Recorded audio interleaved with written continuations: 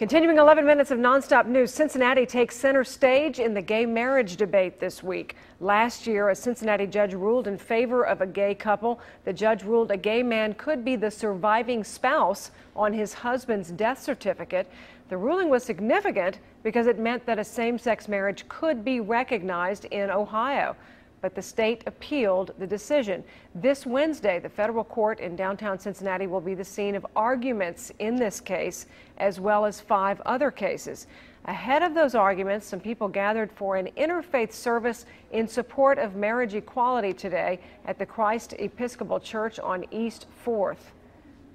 The message is that all loving and committed couples should have the freedom to marry and that we will get the freedom to marry here in Ohio, whether through the courts or the ballot box.